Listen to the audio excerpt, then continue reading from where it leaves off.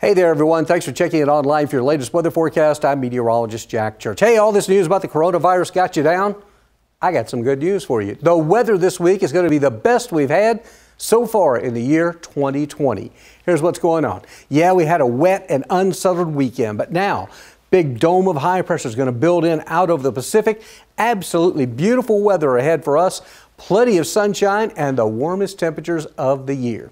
Take a look. Statewide, it looks nice. 62 and sunny in Bend, 65 in Pendleton. How about near 60 in Portland and almost 60 degrees there? Along the coast for your Tuesday, sunny skies, 63 in Brookings, 57 in Port Orford. East of the Cascades, we've still got a few lingering clouds during the overnight hours. Lows dropping in the 20s, but tomorrow into the 60s at Klamath Falls with sunshine at 63, 60 in Alturas, and we'll hit 60 in Christmas Valley.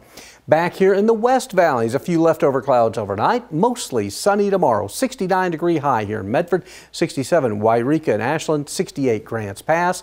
Take a look at this though. Sunshine in the 70s. Thank goodness. I think we're due some nice weather. That's going to extend right through the weekend here in the Rogue Valley. Klamath Basin, same story. You'll be in the 60s. Then you're going to hit the 70s for Thursday, Friday. Just slightly cooler over the weekend, but still very nice. And at the coast, sunny skies, highs mostly. There'll still be a few upper 50s in some of the coastal communities, but most locations should make it into the low 60s. Finally, Northern California, sunshine, 72, 77, 74. You get the idea. It's going to be nice. So there you have it. Keep a positive outlook, stay healthy, stay safe. I guess keep your social distancing too. And as always, thanks for checking in online. You can also watch us over the air at NBC5 News. You have a good one.